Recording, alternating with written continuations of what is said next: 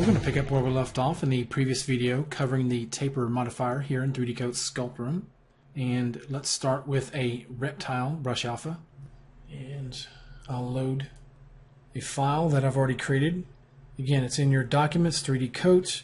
You want to go to your user data. It, this is where it's going to be stored by default. Store data. Then you have your different folders here to save the different types of profiles. So I have that one. Okay.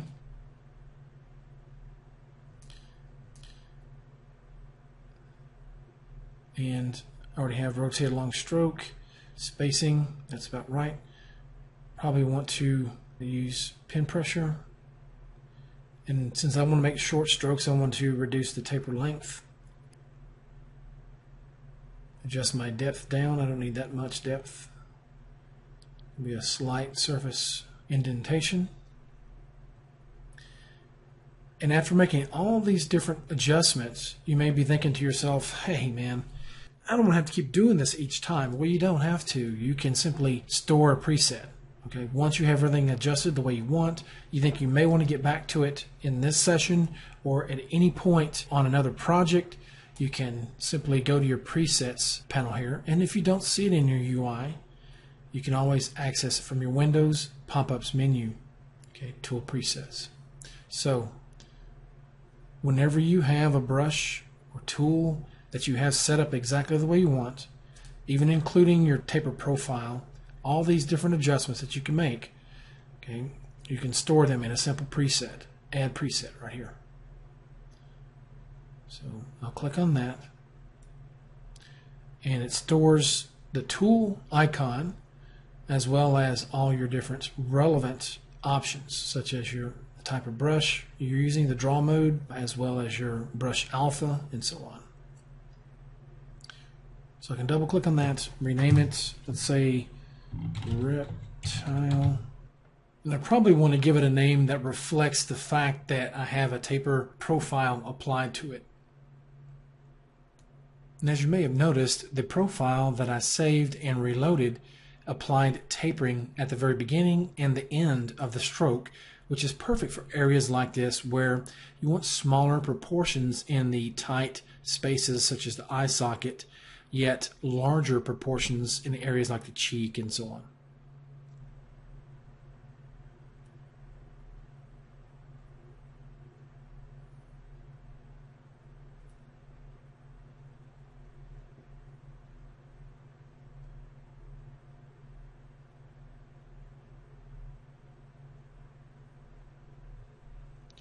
And so if you want to scale these up or down, here in the sculpt room, we don't yet have this capability. However, once you're in the later stages of your workflow where you are actually in the texture painting stage, you do have that capability to go back and modulate the different details.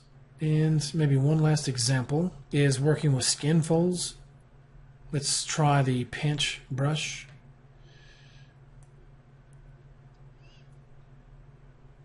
And with our tapering, let's change that a little bit.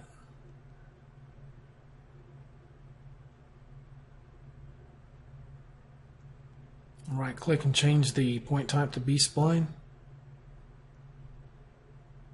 We add a point right here.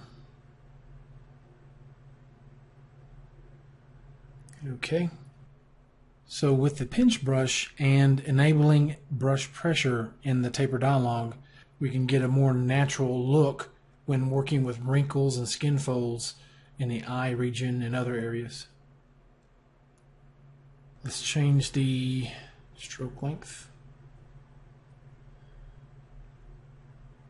So yeah, you definitely want to set up some presets for the pinch tool. Anytime you're working on wrinkles, it has a natural tapering effect on the ends anyhow. So this saves you from having to sculpt the indentations and then come back and clean it up with your pinch tool. You can do it all in one stroke for the most part.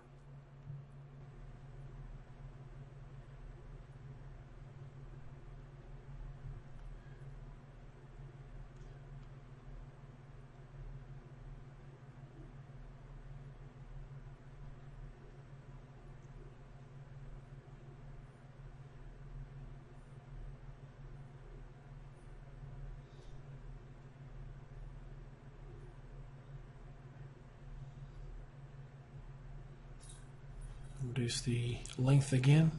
Keep it very short.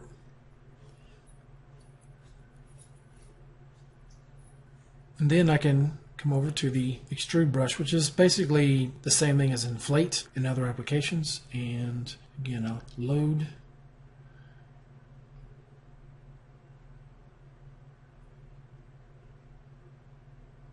Bring my length down.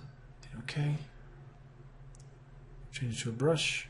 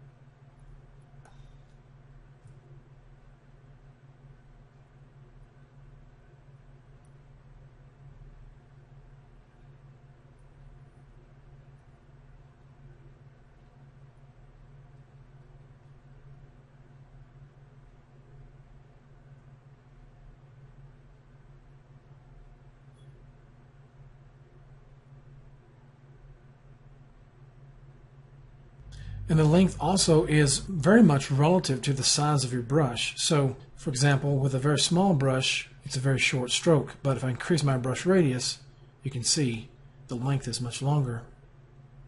Okay, so larger the brush, the longer the stroke.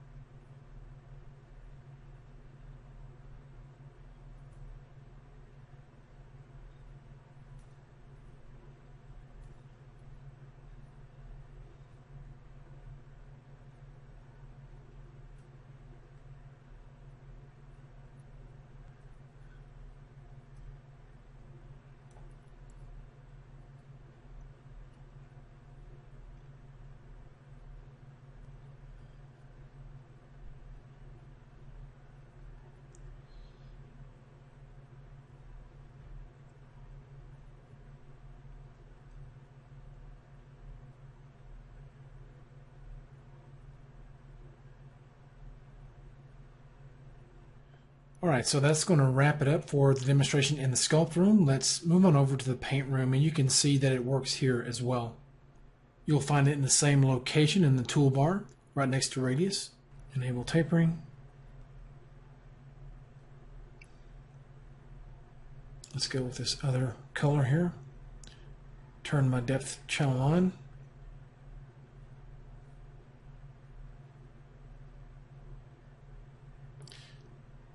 Change my brush to the first one here.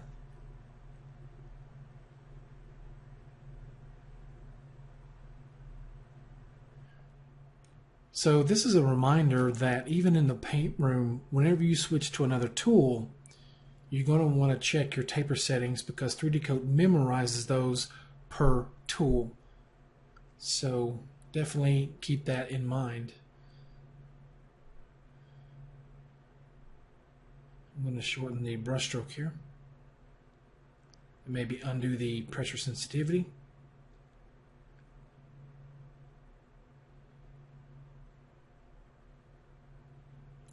Works really well here, just as it did in the sculpt room.